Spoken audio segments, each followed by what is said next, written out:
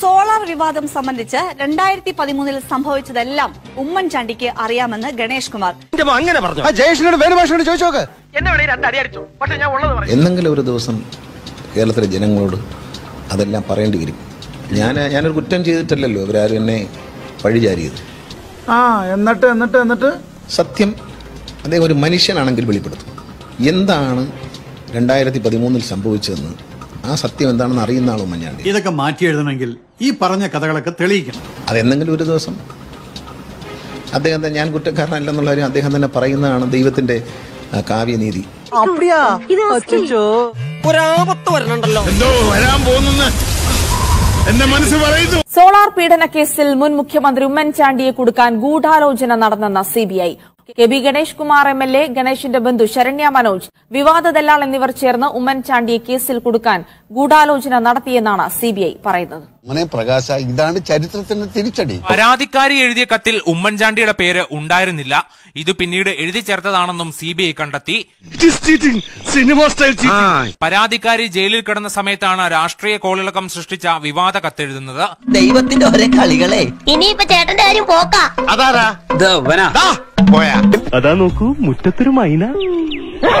ഞാൻ ജയിലിൽ കിടക്കുന്ന സമയത്ത് ഹാൻഡിൽ ചെയ്ത പുറത്തുള്ളവര് അവരുടെ പൊളിറ്റിക്കൽ അല്ലെങ്കിൽ അവരുടെ ഫിനാൻഷ്യൽ ആയിട്ടുള്ള കാര്യങ്ങൾക്ക് വേണ്ടി കുറച്ചൊക്കെ ഇതിനെ ഒളിച്ചും തെളിച്ചും യൂസ് ചെയ്യാനായിട്ട് ശ്രമിച്ചു.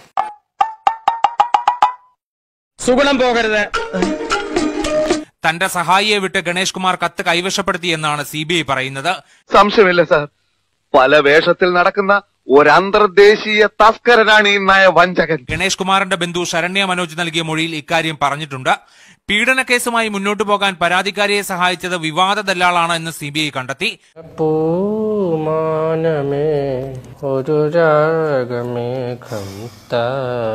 പി സി ജോർജിന്റെ പ്രതികരണത്തിലേക്ക് പോവുകയാണ്.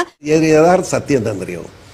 ഈ പെൺകുട്ടി അസാത്ത് കഴിവുള്ള മാന്യായ ഒരു പെണ്ണിയ ഒരു സ്ത്രീയായിരുന്നു.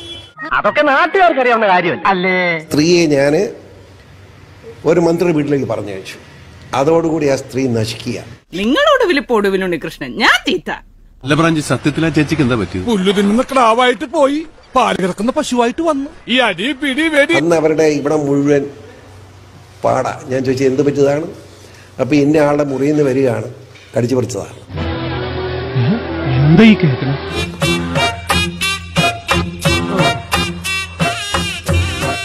മോനെ ഹംസേ നീ പീഡന കാര്യത്തിൽ ഇത്ര മിടുക്കനാന്ന് ഞാൻ കരുതിയില്ല. എന്നെങ്കിലും ഒരു ദിവസം കേരളത്തിലെ ജനങ്ങളോട് അതെല്ലാം പറയേണ്ടി വരും. ഒരക്ഷരം പോലും തെറ്റിയില്ല. അന്ന് അവരുടെ ഇവിടെ മുഴുവൻ പാടാ. ഞാൻ ചോദിച്ചത് എന്ത് പറ്റിയതാണ്? അപ്പൊ ഇന്ന ആളുടെ മുറിയിൽ നിന്ന് വരികയാണ് കടിച്ചു പറിച്ചതാണ്. ഈ രാഷ്ട്രീയം എന്ന് പറഞ്ഞാൽ പല്ലും നഖം ഉപയോഗിച്ചുകൊണ്ടുള്ള ഒരു ആക്രമണമാണ്. അവനാണ് നിന്റെ പുറകിൽ അതിന് സംശയമൊന്നുമില്ല. അല്ലെങ്കിൽ അവനൊന്നും ഇങ്ങനെ നെകളിക്കുകയില്ല അച്ഛാ നീ മിണ്ടരുത്. നിനക്ക് വോയിസ് ഇല്ല വോയിസ് ഇല്ല വോയിസ് വോയിസ് ഇല്ല. എല്ലാം കൊണ്ടും എനിക്ക് പറ്റിയ ഒരു കൈപ്പഴയാണല്ലോ വല്ല വാഴയും വെച്ചാ മതിയായിരുന്നു. ഗണേശൻ സ്ത്രീകളുമായിട്ട് അടുത്ത് ഇടപെടുകയെന്ന് പറഞ്ഞാൽ പറ്റൂ. പറ്റുകയല്ല. കുറച്ച് കാശ് കൊടുത്താൽ കുറച്ച് കെട്ടിപ്പിടിക്കും. ഇത്തിരി ആക്രാന്തം കൂടുതലുള്ള കൂട്ടത്തിലാണ് കൂടുതൽ കാശ് കൊടുത്താൽ കൂടുതൽ ഇറുക്കി കെട്ടിപ്പിടിക്കും. അത് തൊഴിലിന്റെ ഭാഗമാ. ഇവനൊക്കെ എന്ത് ചെയ്യണമെന്നറിയാവോ? വെടി വെച്ച് കൊല്ലണം. മാത്തച്ഛൻ എന്ത് പറയുന്നു? അതെ അതാ ചെയ്യണ്ട ഇതൊക്കെ ഒരു സില്ലി ഇതൊക്കെയാണോ കേരളത്തിലെ പ്രശ്നം? ഇതൊക്കെയാണോ കേരളത്തിൽ അഴിമതി വല്ലതും ഉണ്ടോ? അത് പറയൂ. കളിക്കുന്നത് അതിൽ വേണ്ട തെണ്ടി.